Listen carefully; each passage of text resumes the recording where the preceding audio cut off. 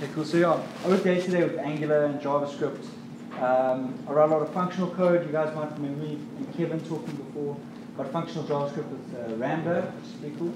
But today I'm just going to talk about like a really cool thing. It's like a new hotness for us and our team, and we, we really love using it.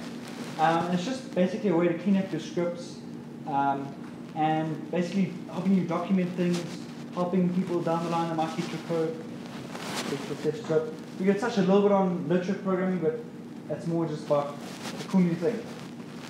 And so I have a solution, so I had to make up the problem. This is not necessarily a problem. Um, the, the problem for us was we had, we had like really long one-liner statements in our package JSON files, like in the scripts. And sometimes they, they're hard to know what's going on. So I think you really want to maybe comment that or write some documentation about it. Um, but that typically doesn't happen. And the next person that comes and he needs to read that, it actually doesn't know what's going on because it's quite complicated.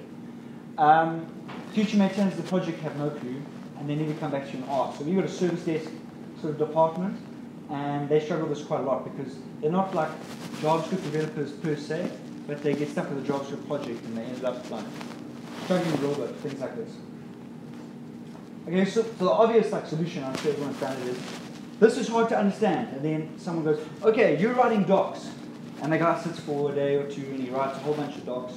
And they might be accurate, um, they might be cool, but they might not be. Okay? They, they're written as an afterthought, so they might be pretty poor actually, and they might be like the bare minimum that you need. Um, at the end of the day, when things change in your scripts, that docs, those docs get old, they become stale, um, no one updates them, eventually delete them and write new docs, etc. Okay.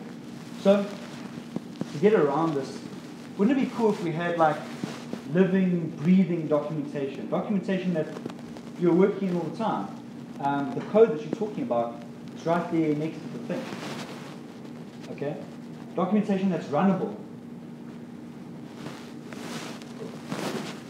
Cool. So that's, that's sort of where literate programming sort of steps in like sort of the two. It's this intermingling of the code and your documentation in sort of one place. So the documentation are, in like our case, maybe our build scripts, um, and the scripts are the documentation. They're, they're one thing. They live together. They change together. They don't become stale. The one doesn't become stale after the other. Okay, cool. So the next question is like, okay, like we're writing uh, documentation. What are we going to write it in? I don't know someone might say Word or uh, I don't know, or ASCII art, um, uh, sticks and mud. I don't know. So you, the, the, the, obvious one is Markdown. The de facto. Um, if you've been on GitHub uh, at any point, you would have seen Markdown already. Um, Microsoft, all of their docs are on on GitHub in Markdown. So a company like that's a document, let's say you can start a document. If you haven't written Markdown, has anyone not written Markdown here before? Cool. So it's it's a really just simple markup language for being able to write like documentation essentially. So if you want to bold something, it's you just wrap uh, stars around it. If you want something to be a heading, you just have a hash in front of it, and etc. We'll see some of it.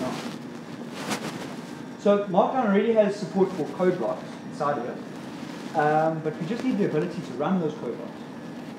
Okay, so you, you might have seen in like examples that you, you, you read this example and oh this is how you do it and here's the code example. We want to run those, okay? And this is where Maid steps in. So Maid is actually like super duper simple. It's just like a command line tool that allows you to run the code that is inside the markdown file. Okay? So you write your scripts inside your docs, and then you use English to describe how your code is going to run. Okay? How uh, your one script interacts with the other, uh, and so, on, so on. Cool. So that sounds great, um, but it, does, it sounds weird and hard, maybe something to learn, but it's actually not. If you know Markdown, you really know how to do it. Then you really have the script. And it actually comes down to two really simple things. The first thing is uh, your script name is just the H2. That's what, that's what you're going to use to run, run the piece of code and your code is always inside of triple backticks. And if you don't know what backticks are, I'm going show you now. So now sort of the time to jump into this really scary part because uh, demos never go well in my experience. Okay, cool. Because you see on the left here, I've just got a demo directory. Um, I've got a maid file in there, maid.md uh, markdown file. And on the right, this is the, the demo one um, sort of markdown file. And we can see we've got two sections here. We've got a test section and we've got a linting section. And we've got some, just an explanation, essentially our documentation. If you view a preview of it, it's nice and pretty. Uh, you could put a badge here and get some like, I don't know, what are they called? Like some sort of reputation on GitHub because you've got like a build status and it's passing. like uh, on Circle CI or whatever. So you could put that there. But now my code is here and I've commented, I've got I've got living code actually. So we'll, we'll see how that goes. So the first thing you're going to need is you're going to need maid.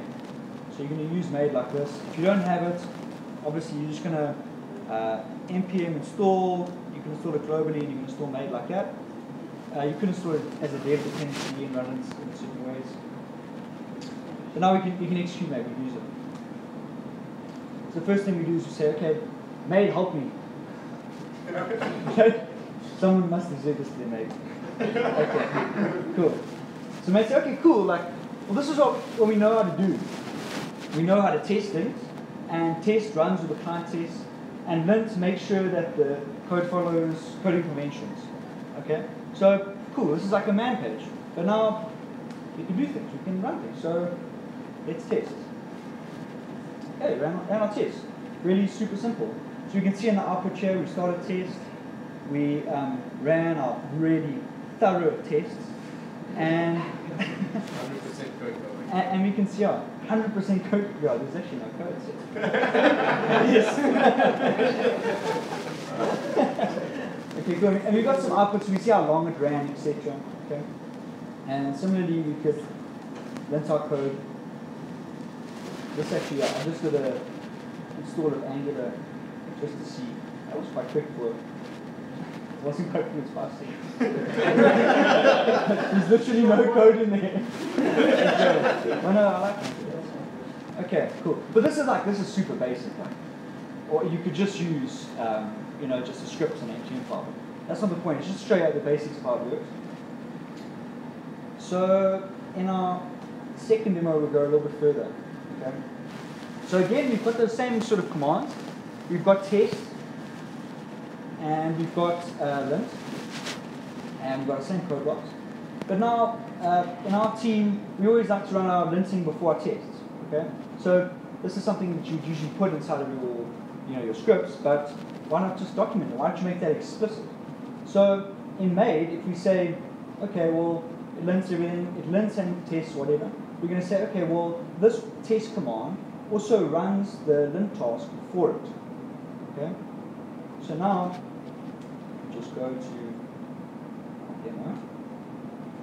We say maid test. It's going to automatically, you see there, it's starting linting. It's going to take ages because it's Angular. And then it's going to complete. So it ran the test after the linting. So these are things that are in our documentation. We're using the English language to display how, how, our, how our build scripts interact and work together. We're not relying on tribal knowledge to know, oh, yeah, they, they run, this one runs after that one, and so on. It's actually, it's documented. And if we look at our preview again, it's still pretty. We're missing our badge. It's nice and pretty.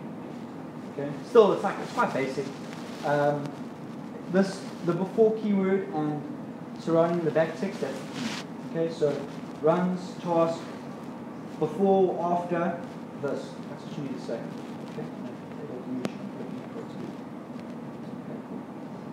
So, so if we go to demo three. Cool. So we'll get a little bit a little bit more fancy.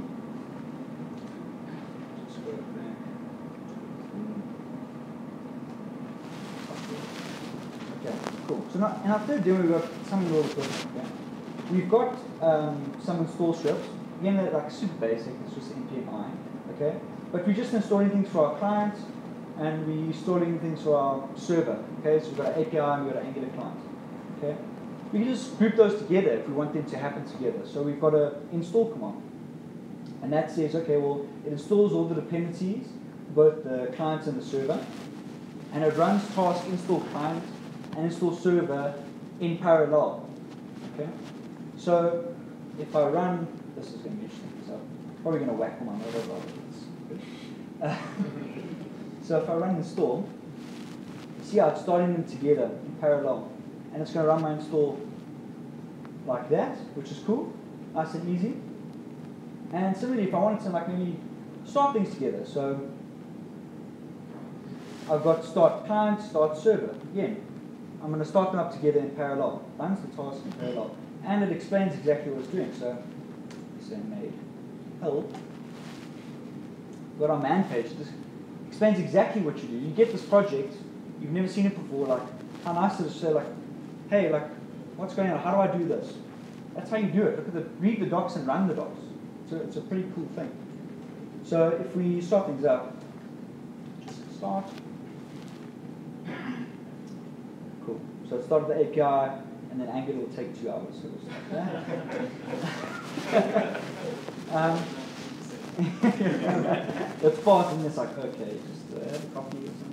And then, so um, you can run these scripts also in isolation. So if you just want to start the server, you could do that. You can just run uh, maid, this one, Angular, run, yeah, server. You could do that too, okay?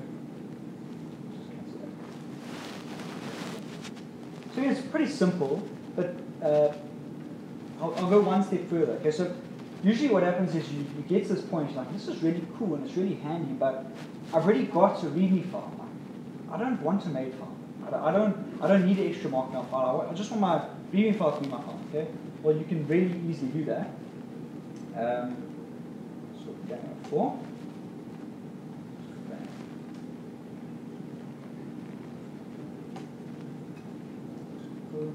So now we've got a README file. You see the ls there in the top left. Okay?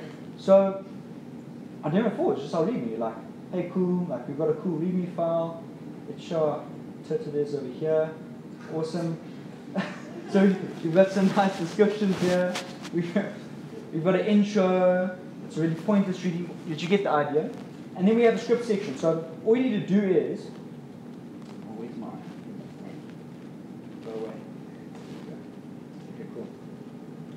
So all you need to do to tell Maid now, okay, I just need to tell you like where my scripts are in my markdown file. You just stick this comment here, um, task.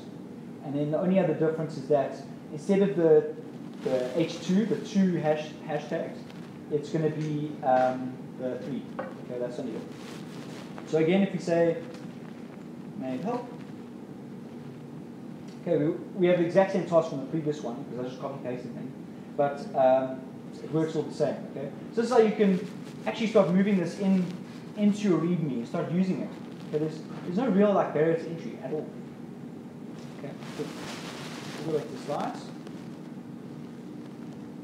Okay, cool. So like the next thing is like maybe you are a JavaScript meetup You might not like Bash, so just use JavaScript. You can do that. So if you just say, okay, well this code box is JS, it'll work. You can run it. You can console.log things. Um, you can even use like async await. Um, it gets a bit funky now because you have to export it and whatever. You can use async await. You can also you can also like require things. Um, yeah, so you could use Java. Or like if you like maybe hate yourself or something, you could use Python. I, I'll throw that in there if you want to use it, it's there. You've got a few options. Typically, you're not you're writing in Bash. You've got options. Okay, cool. So, sort of in closing, uh, if you're on Windows, you're going to need to use Git Bash to run this, or Windows Subsystem for Linux. Uh, it's not just going to work in the command line, uh, or the normal command line. Um, and you can use your README file as you saw, and you can pass arguments to your tasks, like actually really easy. So if you just go look at the docs, you'll see that's really easy to do. Uh, it just depends on what language you're writing the script in. But um, yeah, that's it. Cool.